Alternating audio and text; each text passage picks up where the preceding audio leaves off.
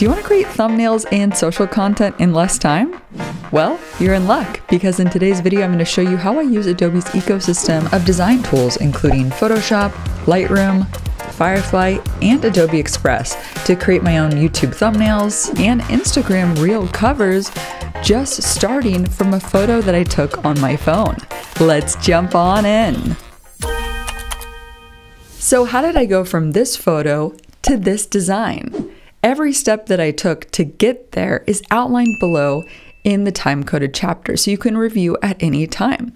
I'm also happy to share that Adobe reached out and they're the sponsor of this video. So let's go into step one. So the first step is to enhance our image inside of Lightroom using the new AI detection masking. Over here on the right, I'm going to select the masking icon. And this is going to scan the image and detect the people in it which is me. So let's go ahead and select person one. If you have multiple people, you'll have person one, person two, person three, and you can see I'm highlighted. So let's go ahead and select that. So in this case, we just want to mask the facial skin. We don't have to do any manual selection. All I need to do is select facial skin.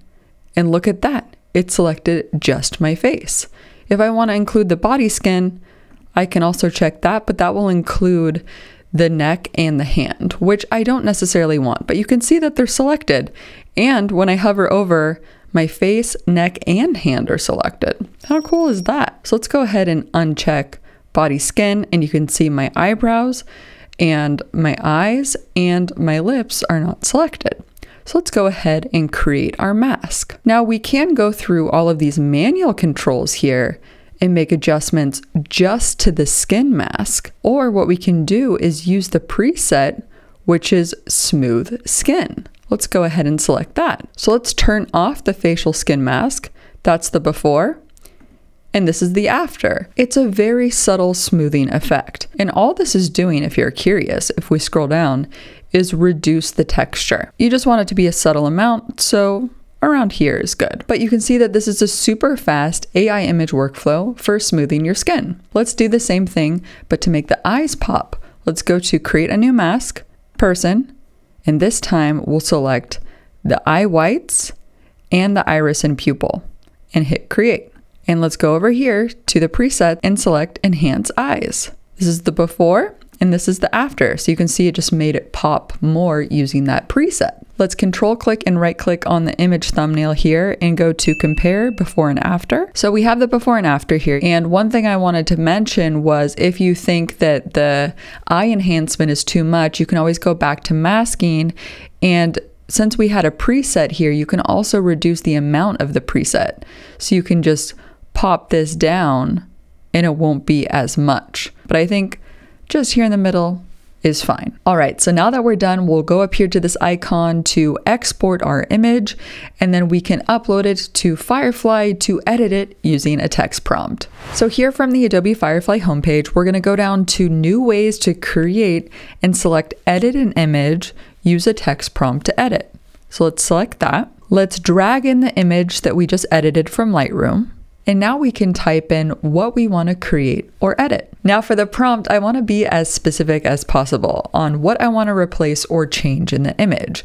In this case, the video is about tennis. So I want to replace the background with a tennis court and I want to change my hat while keeping the logo the same to be a tennis ball texture. So let's type in replace the background with a beautiful tennis court in the desert with palm trees and mountains in the background. Replace the baseball hat with a tennis ball color and texture. Do not change the appearance of the woman and keep the logo on the hat the same. Harmonize the foreground and background so the lighting looks consistent. And for style, make it cinematic. And I found a typo, now, there are a variety of AI models to choose from. You can use the Firefly Image 5, which is commercially safe, but you also have the option to use partner models as well.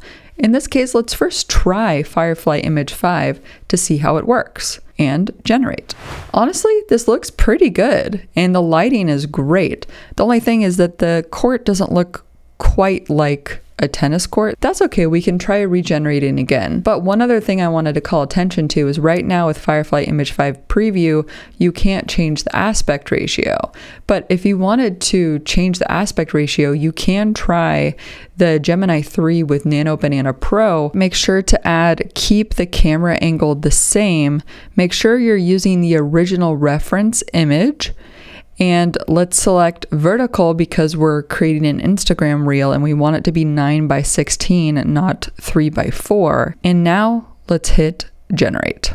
So you can see here with Nano Banana version that the hat has a little bit more detail like a tennis ball. The Firefly version was good, but it it kept the same kind of style as the hat, but I really wanted it to be like a tennis ball. And the court looks great in the background as well. So what do we do now? Let's say you want to make an expanded landscape version for YouTube. So we want to make sure to use this current image as the reference. You can just hover over the reference and you can make sure that you have the newly generated image here. You can also add up to six different reference images if you need to. And now we need to change it to a widescreen 16 by 9. And then let's type in Expand the image to be in a widescreen landscape image. Keep the logo on the hat the same. Let's generate. So as you can see, this image editing is super useful as a creator because I can create multiple versions of the same asset for different social media platforms instantly. It's pretty wild that we're kind of in the future where we're basically giving text voice commands to edit an image. I mean, wild. So we can go up here to download this vertical version and this landscape version. But let's say you want to make any other edits because I'm actually not happy with the fence here. I don't want to have a fence in the background. I realize in this expanded version, I want to see more of the desert. So I'm going to make one more quick edit here before I download. Make sure to have this image as a reference. Remove the fence around the tennis court. Replace with a more beautiful hard top surface tennis court surrounded by desert, palm trees, and mountains. Keep the woman's appearance the same and camera angle the same. Keep the logo on the hat the same and hit generate. All right, so this is the before and now this is the after. The fence is gone and everything has remained the same. So now I'm going to move over to Photoshop to show you some other tools. So let's go ahead and download this and open it up in Photoshop. So Photoshop also has some fast AI tools that will speed up your content creation. So with the Firefly image here, you can see as we zoom in, the quality is actually kind of low, but now there's generative upscale inside of Photoshop that can literally improve and add detail to your images in just a few moments. So let's go up to image here and generative upscale. And you can see we can use the Firefly upscaler, but we can also use partner models like Topaz Gigapixel, which actually works great for preserving the existing detail while upscaling it. And then there's Topaz Bloom, which will improve the quality, but it will also add in some more creative detail so it can make changes to the image. So if you don't want to make any changes to the image, don't use Bloom. But if you're curious about Bloom, of what it will add, you can try it out. Let's use Gigapixel here and also make sure to check face recovery. And let's do two times, but you can also do four times if you like. Let's go ahead and upscale. And the reason why I'm doing this is that it's important to enhance the image first so it's of higher quality before we do further editing. So this is the original and this is the after. So you can see how it cleaned up around the eyes and just helped define those lines. So let's stick with this one and don't sleep on upscale. It's definitely gonna help you. Next, this is gonna blow your mind, changing the camera angle of these images using generative fill. So to change the camera angle, go up to the rectangular marquee tool or press M, and then you can press Command A or Control A and then from the taskbar here, let's click on generative fill, and then we can type in the new camera angle that we want. Change camera angle to a wide shot, where you see the full body of the woman on the tennis court and generate. And it did work. It actually looks pretty good. Um, but we can try a couple others. So we can actually turn off this layer, go back to this one, select it, and then press Command A. And let's go back to generative fill and type in change camera angle to a high angle drone shot. And here's the high angle shot. I mean, it's accurate, right? Let's go ahead and try one more. Change camera angle to an extreme low angle shot. It did just that, and you can see the surface of the tennis court. And from here, if we wanted to, we could use the lasso tool to remove this lamppost on the side and just hit remove from the taskbar. And then we can just move the image down and we can select the top part to generate and expand the sky. Changing the camera angle is just a starting point. You can still use tools like generative fill and generative expand inside of Photoshop to further improve the image, and it's still really fast. And of course, what I like to do is drag in the Firefly logo and have it in the corner here. For all my tutorials, I like to showcase the logo that I use, and I usually put it up in the upper right or upper left of my thumbnail. And so I can just export a version like this I can export a version like that and export a version like this and like this and see which one performs the best. So thanks to my Adobe workflow here, I can create quick variants that I can use to A-B test on YouTube because I have A-B testing now. So Photoshop is one way to create quick social media content, but you can also use Adobe Express to create quick social media content with AI. For example, I'm here on the Adobe Express homepage and I want to drag in one of the images that I generated. And you have three options here. You can edit the original image, you can remove the background, which we don't want because we already replaced the background with Firefly in this case, but you can also add it to a design. I'm going to click on Edit Original Image. So Adobe Express comes built in with a bunch of neat text and graphic tools that you can overlay on your images and some resizing tools as well. First, let's start with some text. So let's click on text and we can type in our own text. We can choose these defaults or select from any of these templates here. I'm going to choose this button template and I'm going to reposition this and type in generate instead. Now I want to resize this image. There's many different ways that you can expand your images using AI into different aspect ratios. Before I used Firefly, Nano Banana Pro, you can also expand the image inside of Photoshop using the crop tool, which I've showed you in previous videos. And now in Adobe Express, you can click over here, the kind of gray area, and you can go over here to the edit page menu and select resize. And you can search for a particular template. In this case, let's search for YouTube and let's select YouTube thumbnail. And by default, YouTube thumbnail is 1280 by 720. But if you want a higher res, you can always choose YouTube video. Let's choose this and then make sure to check expand image. And basically, this will generate the missing parts of the image for you. Let's go ahead and resize. This is the same technology that's inside of Photoshop when you use the crop tool and use generative expand. It's just another place where you can get things done. If you prefer to use Express, then you might want to use this.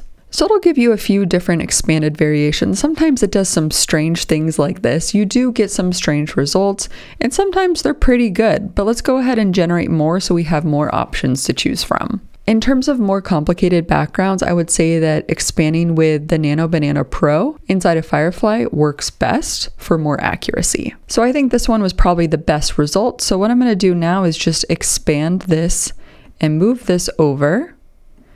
And I'm also going to select it and then select the color on the left and go to the dropper. And let's select the red of the Adobe so that way it matches better.